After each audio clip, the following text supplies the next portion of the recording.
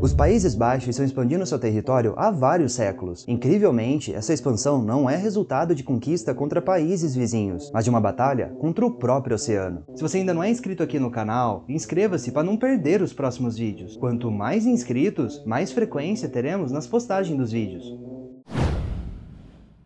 Os Países Baixos é um pequeno país localizado no noroeste da Europa, sendo limitado pelo Mar do Norte ao norte e oeste, Bélgica ao sul e Alemanha a leste. Ela também é conhecida popularmente como Holanda, nome originalmente dado ao núcleo medieval que mais tarde se tornou o Estado moderno e ainda é utilizado em duas de suas 12 províncias, que são as regiões mais populosas e economicamente importantes dos Países Baixos atualmente. Há vários séculos atrás, foi iniciada uma batalha épica contra o avanço incessante do mar sobre suas terras, desafiando os limites da engenhosidade humana eles empregaram uma série de técnicas inovadoras para proteger, recuperar e expandir seu território que foi tomado pelo mar. E a razão para isso não é à toa, já que o país, além de estar na grande planície europeia, é realmente baixo e plano. Caso os Países Baixos perdessem hoje a proteção de suas dunas e diques, a parte mais populosa, ou mais da metade de todo o território, provavelmente seria inundada pelo mar e em parte pelos rios, pois mais de 50% da área total fica a menos de um metro e metade disso está de fato abaixo do nível do mar. E seu ponto mais alto fica a um pouco mais de 320 metros de altitude. Além disso, os Países Baixos é relativamente pequeno. A sua área total atualmente é de um pouco mais de 41 mil quilômetros quadrados. É menor até mesmo que o estado do Rio de Janeiro no Brasil, e aproximadamente 6.500 são de territórios que foram recuperados do mar num processo que remonta aos tempos medievais, e principalmente nos últimos 100 anos. Esse mapa, por exemplo, é de como eram os Países Baixos há mais de 7.500 anos atrás, e com o passar dos séculos e milênios, o mar praticamente começa a invadir o território e tomar grandes regiões que no passado já foram até mesmo assentamento de pessoas. Na época do Império Romano, o mar estava começando a tomar o país, mas nada comparado com a situação que chegaria por volta do século XIV, com enormes regiões alagadas e improdutivas. O avanço do mar foi causado em parte pelo processo da erosão da costa que já vinha acontecendo naturalmente pelas ondas, o avanço das marés, ventos e até mesmo o transporte de areia e o aumento de tempestades. Mas alguns historiadores afirmam que o problema pode ter sido acentuado e acelerado devido à influência humana, como a intensa extração da turfa, principalmente no final da Idade Média, que era utilizada para aumentar a produtividade das plantações, combustível e até mesmo mesmo material de construção. Além disso, combinado com a remoção da vegetação litorânea, acabou enfraquecendo as defesas naturais das áreas costeiras, tornando-as mais suscetíveis ao avanço do mar. E a partir daí, um trabalho de vários séculos seria preciso para recuperar pelo menos uma parte da região que antigamente fazia parte de seu território terrestre. Por isso, o termo recuperação é tecnicamente mais adequado, mas não deixa de ser uma expansão. Inicialmente, a força humana foi usada para drenar a terra e posteriormente por moinhos de vento. A rede de moinhos de Kinderdijk Elshout, fundado no século XVIII, é um dos mais famosos e visitados atualmente. Entretanto, nos séculos XIX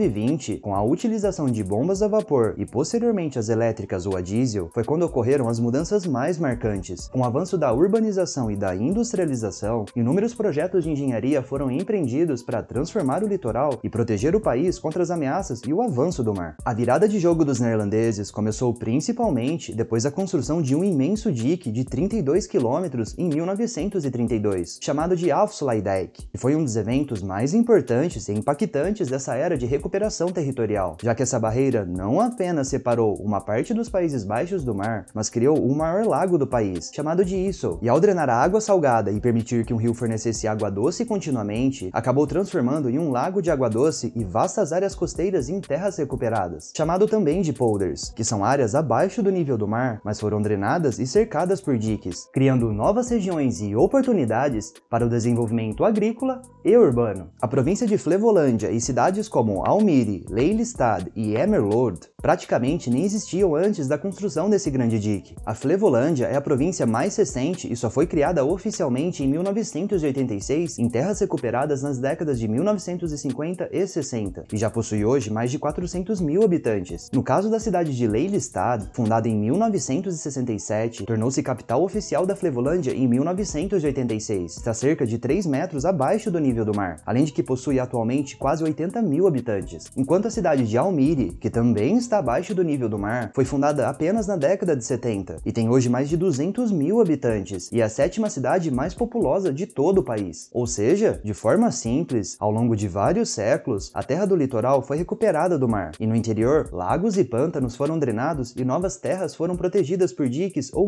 de contenção, formando grandes e novas regiões habitáveis e produtivas. E mesmo com grandes conquistas, como a notável recuperação de 6.500 km ao longo dos séculos, o que seria um pouco maior que o Distrito Federal no Brasil, muitos neerlandeses afirmam que, mesmo nos dias atuais, ainda existe muito trabalho a ser feito e os enormes desafios naturais devem ser enfrentados com muita determinação e inovação.